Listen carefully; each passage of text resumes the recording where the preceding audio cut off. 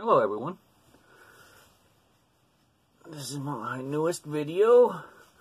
This is a pogo colony I had in the fridge up until about three weeks ago. Two and a half, three weeks ago. And as you can see, plenty of brood. It's in a fortress. Here, let me back it out a little. It's in a fortress from Tar Heel Ants. Oh, come on. There we go. What is easy to see? Nice little egg piles, larva piles, eggs.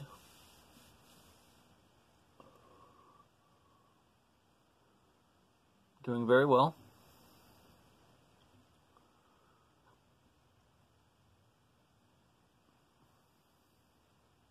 Man, I love these ants. I'll show you one of my ones in a mini hearth.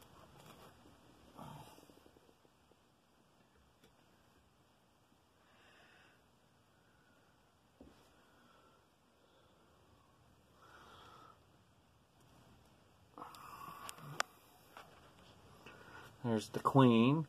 Nice little brood pile. Oh, that worker just dropped.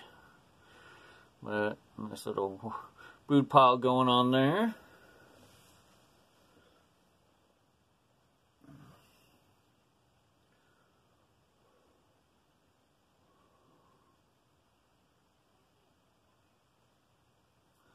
Lots of nice larvae.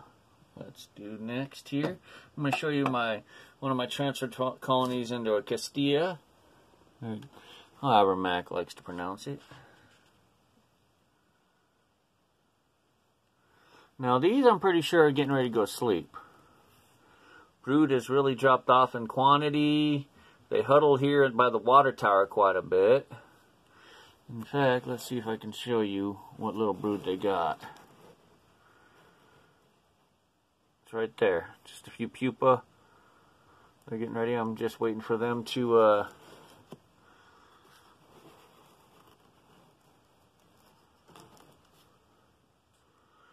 enclose and then I'll probably put this colony asleep. And they don't have much in the way of brood, so I'm thinking they're getting ready to go night nights. As my little man likes to not here. he hates that word more than anything. You say the nights and you're an instant enemy.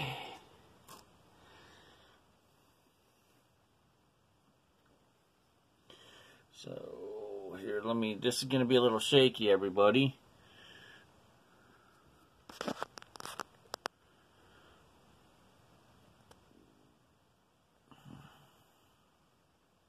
Look at that nice little brood pile.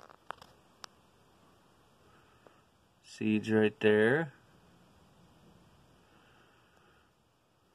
That nice little brood pile. I will Get another, let's see if I can find myself a nice little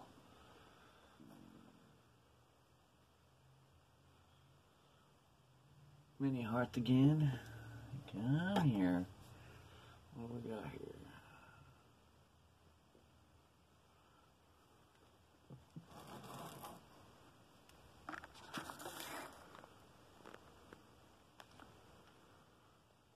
See, there's the queen. This is one of my smaller colonies.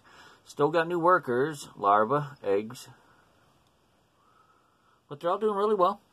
I haven't had any queens die off here late in last this year at all, I think. Um, they're all going pretty strong. Now, if you have any questions about care or any issues come up with your ants, please don't hesitate to ask. I'll be happy to help if I can. Oh, I want to show you this. This is one of these mini hearth XLs.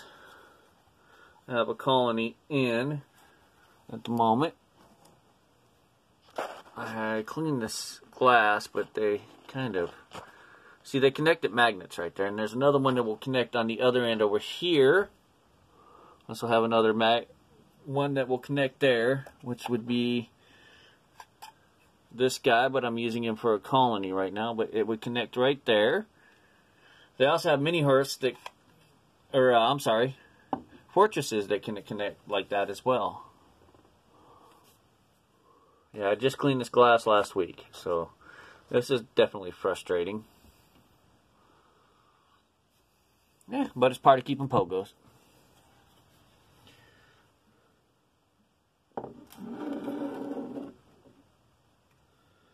Um, let's see what we got going on here.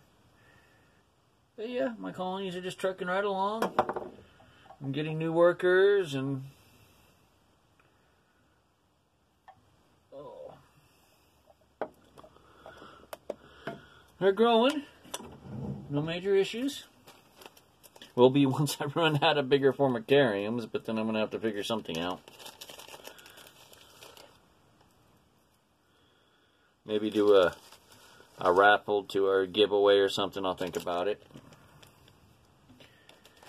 You know, see about maybe to one of my viewers giving away a nice pogo colony. We'll see. Maybe that's something for the future.